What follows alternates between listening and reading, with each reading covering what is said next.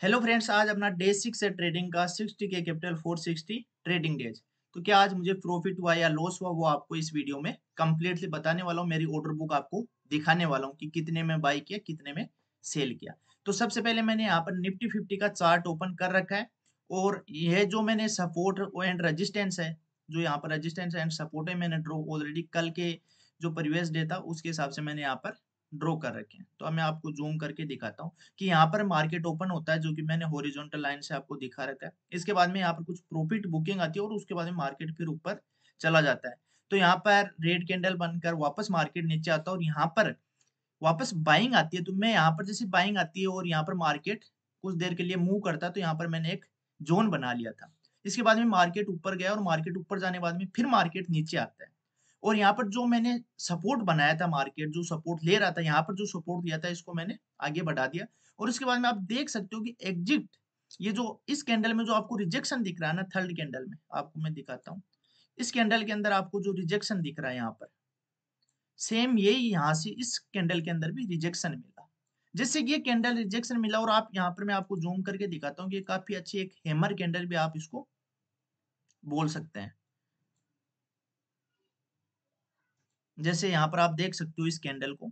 यहाँ पर अच्छा रिजेक्शन मिला है। एक हेमर कैंडल की तरह जैसे मार्केट यहाँ से गिर रहा था और उसके बाद में एक अच्छा रिजेक्शन के साथ पहले भी मार्केट यहाँ से बाइंग और फिर यहाँ से मार्केट में वापस बाइंग तो एक अच्छी बुलिस कैंडल आपको देखने को मिली।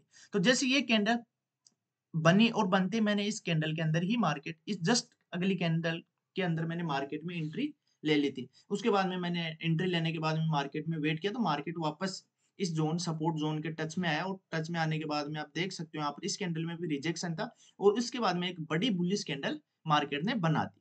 उसके बाद में ई e से ऊपर क्लोज हो गया ई का सपोर्ट लेके बाद में और मार्केट ने एक अच्छी बुलिस कैंडल बनाई। जैसे एक कैंडल बनाए तो यहाँ पर एक मार्केट मेरे ऑलरेडी यहाँ पर एक मेरा जो रजिस्टेंट था वो था। तो मैं ये कैंडल जैसे बनी और अगली कैंडल ये थी, इस कैंडल के अंदर में मार्केट से एग्जिट हो गया क्योंकि मुझे सपोर्ट था। अगर आगे मार्केट जाता तो मैं आगे यहाँ पर इस जगह एंट्री ले लेता। लेकिन आप देख सकते हो कि ये कैंडल में दिखाता हूँ आपको।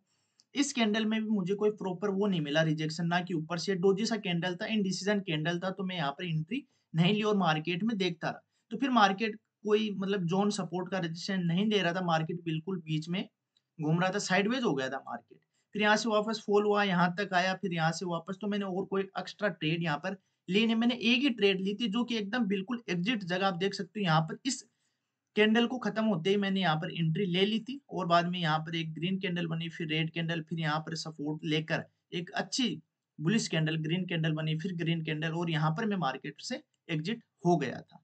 तो इस तरह से मैंने एंट्री ली और यहाँ पर एंट्री के बाद में मैं यहाँ से एग्जिट हुआ था।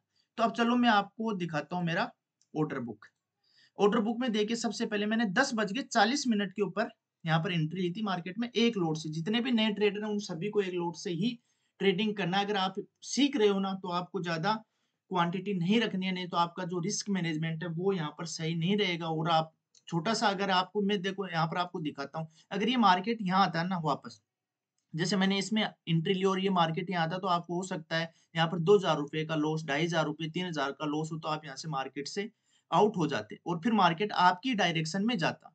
तो इसलिए आपको रिस्क मैनेजमेंट जो आपका है, वो बिल्कुल परफेक्टली होना चाहिए। तो यहाँ पर देख सकते हो 140.30 में एंट्री ली और मैंने इस मार्केट से एक में बाहर निकल गया। तो मुझे कितना प्रॉफिट हुआ आपको मैं पोजिशन के अंदर दिखाता हूँ। तो यहाँ पर आप देख सकते हो कि मुझे जो प्रॉफिट हुआ है, वो यहाँ पर ग्यारह सत्रह पॉइंट पचास। तो यहाँ पर आप मान लेते हैं सौ रुपए यहाँ पर टोटल वैसे सौ रुपए कटेंगे नहीं, तीस, सत्तर रुपए के लगभग यहाँ पर GST charge brokerage transaction charge से भी चार्ज वगैरह मेरे कट जाएँगे, फिर भी यहाँ पर एक हज़ार पचास रुपए का लगभग यहाँ पर नेट प्रॉफिट हुआ है, जो कि मैंने एक सिंगल ट्रेड ली थी और एक ही लोड से मैंने ट्रेड लिया, यहाँ पर ये नहीं थी मेरी क्वांटिटी ज़्यादा थी। तो सो ये वीडियो आपके अच्छे से समझ में आ गया होगा। आप डेली में यहाँ पर एनालिसिस करके बताता हूँ कि डे सिक्स में मुझे प्रॉफिट है या लॉस आज डे सिक्स था और day five four three two one, आप देख सकते हो, पूरा मैंने चैनल के ऊपर प्लेलिस्ट बना रखी है, sixty capital four sixty trading days. तो ये वीडियो अच्छा लगा होगा अच्छा लगा तो वीडियो को लाइक कर देना, साथ ही चैनल पर नहीं हो तो चैनल को सब्सक्राइब करना। अगर आपका और भी कोई क्वेश्चन है तो मुझे इंस्टाग्राम के ऊपर आप मैसेज कर सकते हैं, लिंक डिस्क्रिप्शन में आपको मिल जाएगा, trader wiz two three.